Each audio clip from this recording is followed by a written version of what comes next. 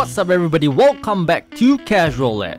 I'm gonna show you all the different stages in a jewelry stall in Roblox Jailbreak 2023. The J store had been revamped quite a while ago and it became slightly harder, especially for the new players. The J store will always reward $5,000 if you have the full duffel bag. There are 6 different stages in J store right now and they are always chosen at random. I am labeling them from 1 to 6 so that we can differentiate them, but only one stage is chosen at random per robbery. The first two floors are always the same. You will break the display glasses to start the robberies.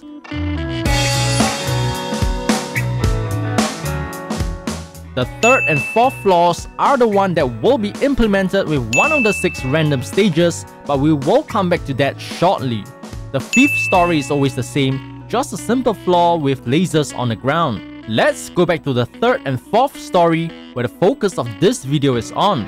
Let's just keep in mind that there are 6 random stages on the third and fourth floor. The first one is easy. You basically have to crawl past this room while avoiding the moving lasers. The lasers are not that fast, so you will be able to crawl past it easily.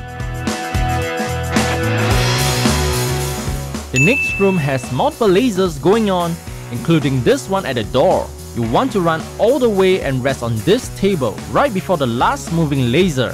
Jump to the exit of the room once the last moving laser is clear. The next stage has these white circular lasers moving around. They are faster than they look. Don't get greedy and try to speed past the area. You may get caught in it. Play it safe and you will be able to clear this room. The next room is even harder. There are multiple lasers sweeping the room including one at the corridor of the entrance, so you cannot wait outside the entrance. You will have to wait somewhere here.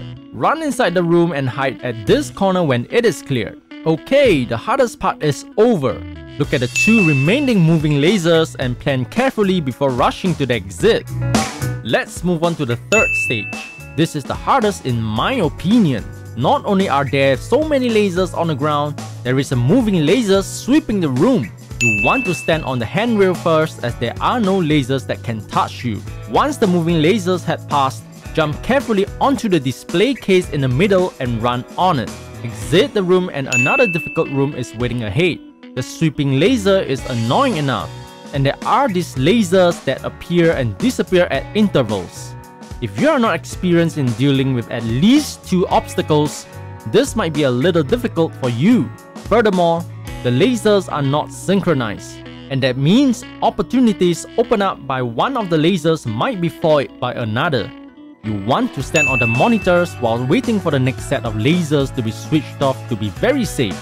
There were a few times when I stood on the table but my foot touched the lasers. Run past this section when the lasers are switched off. Just a word of warning, the lasers reappear very quickly and they are very wide range. So don't stop midway and don't be greedy and try to clear the section while the lasers have been switched off for a while. Before we move on, I would really appreciate it if you can hit that subscribe button, turn on the notification bell, and like this video to support the channel. On to the fourth stage. This room is pretty hard.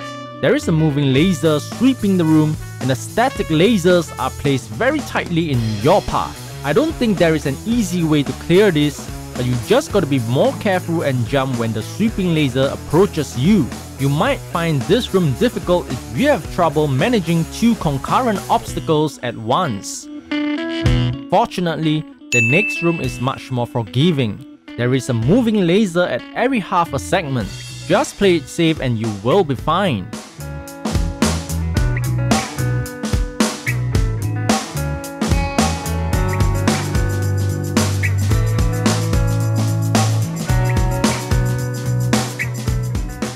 On to the next stage.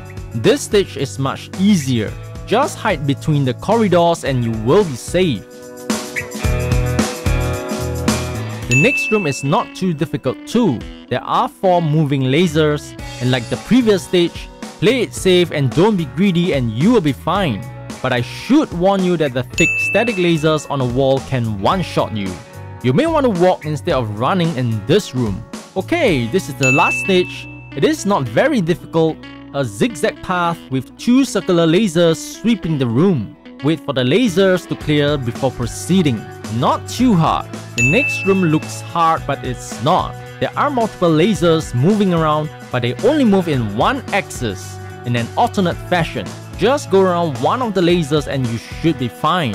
Last but not least, you should always bring a donut along with you when you rob the J store. Things can go ugly very quickly. If you don't have a donut, just wait for a while to heal naturally. But don't be too anxious in clearing the stages. Haste make waste. If you miss the robbery from the first floor, you can also enter from the roof when it is being robbed. But that is also the spot that cops will be waiting for you. Most of you may know this already, but for the new players, you will need to deliver the loot to the criminal base to complete the J-Store robbery. So that's it for today's video. Please leave a thumbs up if you enjoyed this video, subscribe if you haven't already, and I'll see you in the next video.